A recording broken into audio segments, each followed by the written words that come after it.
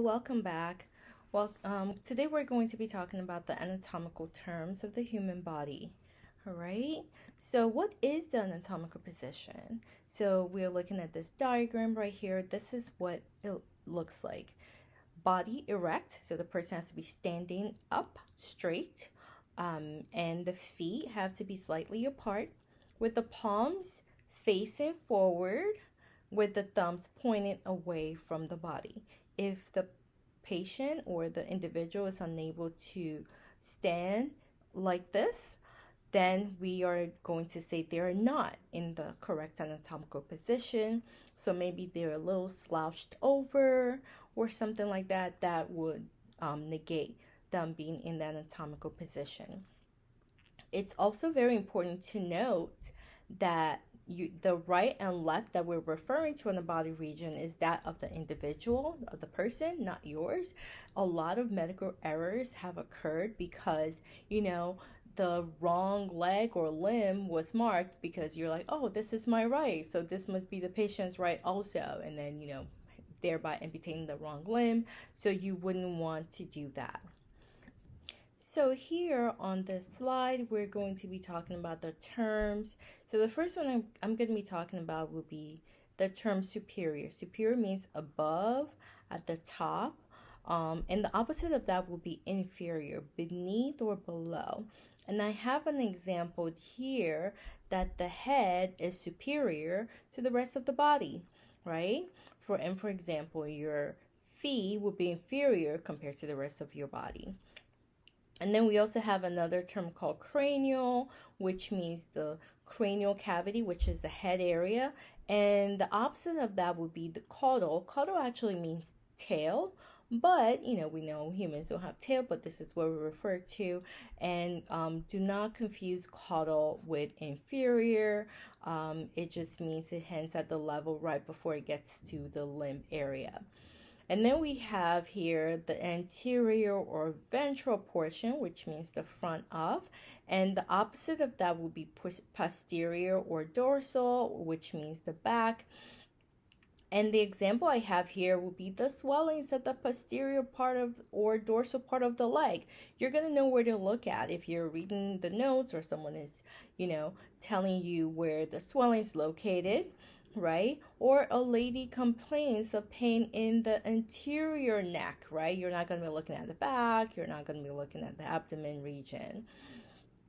The other parts would be, the other term would be proximal and distal. Proximal means closer to, all right, and distal means at, at a distance. So the example I have here would be the fingers are distal at a distance from the shoulder.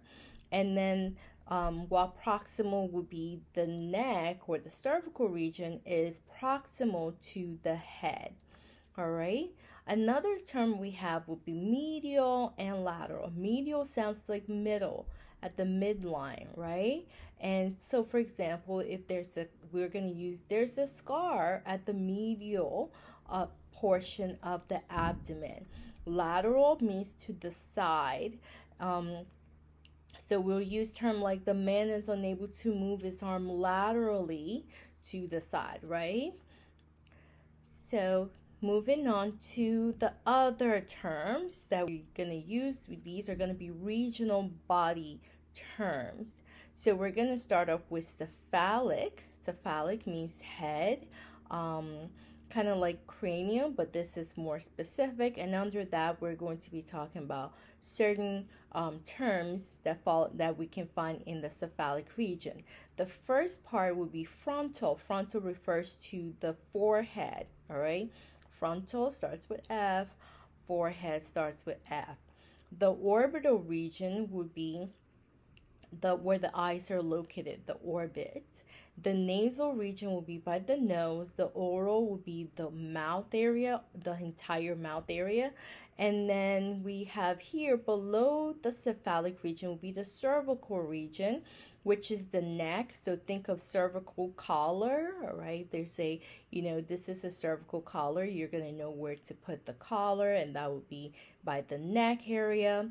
And then right underneath, right um, below that, right? Inferior to the cervical would be the thoracic region. On the thoracic, we're going to have the sternal region. We're going to have the axillary. The axillary is the armpit area. Oh, I'm sorry. The cervical, sorry, the sternal region is going to be the middle portion of the thoracic um, region. And like I said, the axillary will be the armpit area. Sometimes, you know, there might be an axillary temperature um, that needed to be taken.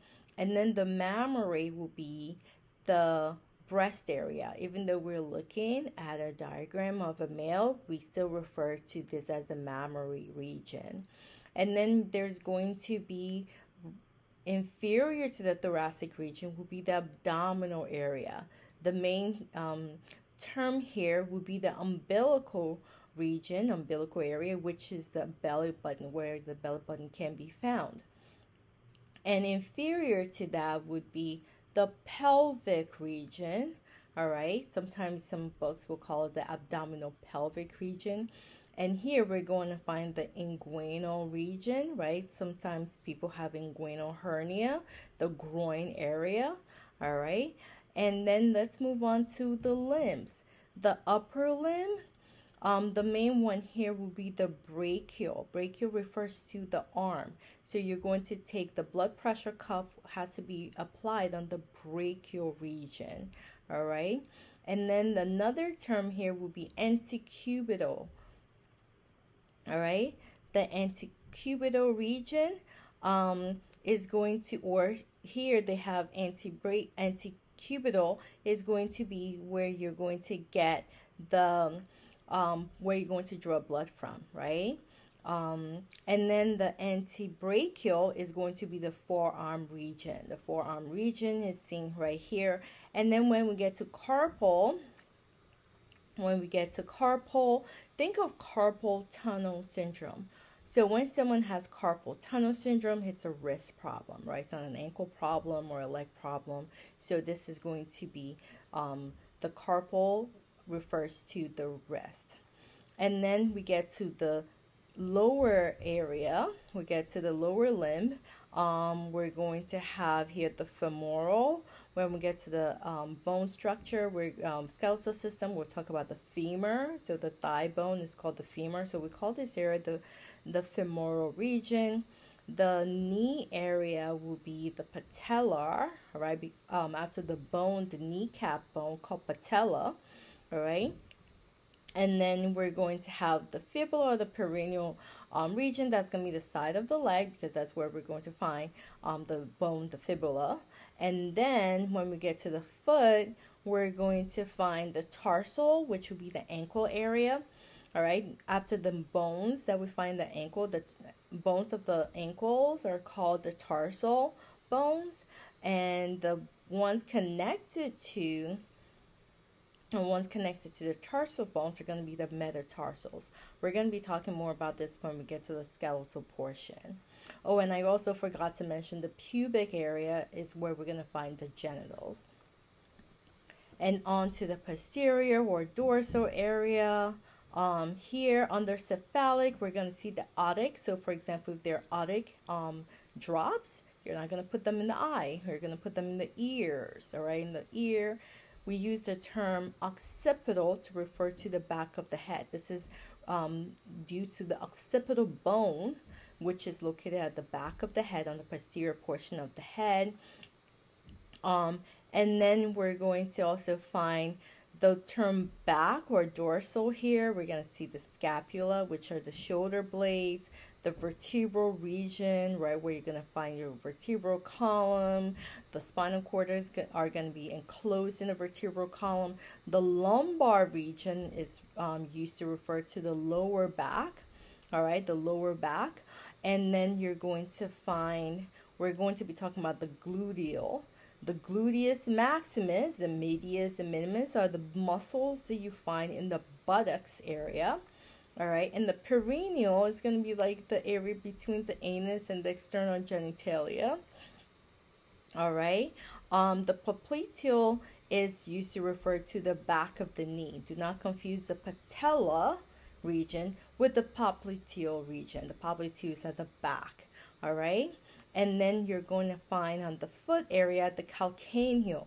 Think of Achilles tendon. Achilles um, calcaneal tendon is another word for that, and that would be the heel. And then the plantar, when you're planting, right, putting your foot down, um, the sole of your feet, we use that term for the plantar. So that concludes our review of the terms of the human body. Thank you.